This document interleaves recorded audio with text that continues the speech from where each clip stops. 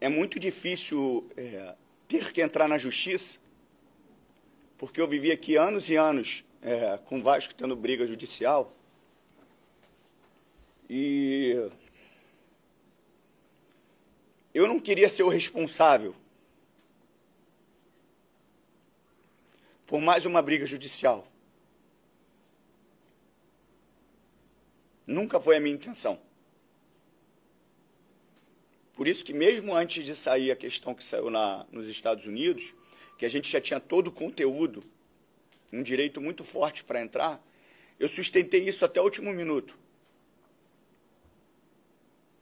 E a decisão que eu tive que tomar numa semana de Vasco Flamengo, ela me matou. Porque eu sei o que cairia na minha conta.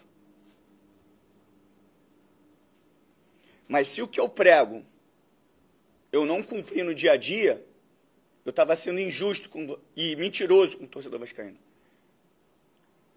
Então eu sabia que eu ia ter que pagar esse preço, que ia doer muito, quando fosse anunciada que a gente entrou com a ação. E as pessoas iam julgar sem saber o porquê.